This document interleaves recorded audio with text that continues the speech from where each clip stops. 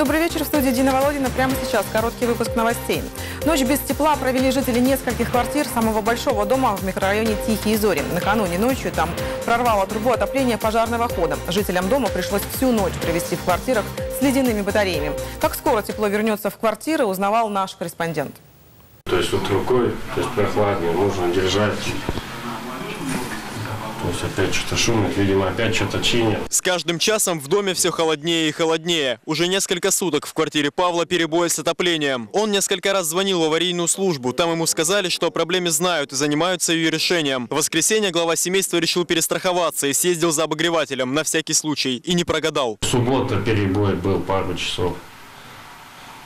Но воскресенье прямо вот так, что можно сказать, еще до обеда, как все началось и продолжалось. Сказали, вечером дадут потом, что всю ночь будет без отопления, что ремонтные работы нужны. Если бы не обогреватель, то вообще, ну это невозможно так сейчас в 21 веке, что без отопления людей оставить.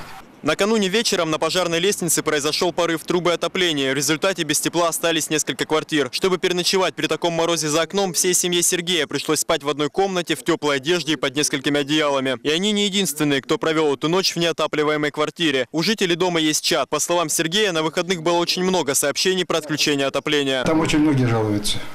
Очень многие. Вчера жаловалась много с четвертого парадной и вот с нашей со второй парадной, что именно вообще полностью холодные трубы. Ну, у нас еще может быть то, что вот одна более-менее теплая, а у людей там говорят, что вообще полностью ледяные. На звонки седьмого канала управляющая компания не отвечает. Сегодня с утра дом проверила администрация района и руководство УК. По их словам, серьезных проблем нет. С отоплением дома все в порядке. Но в социальных сетях жители критикуют такую проверку. Говорят, что директор управляющей компании показывал чиновникам другие подъезды, а часть квартиры до сих пор находится без отопления. В квартиры тепло вернулось только к трем часам дня, после почти суток отсутствия. Антон Тишаков, Сергей Раков, седьмой канал.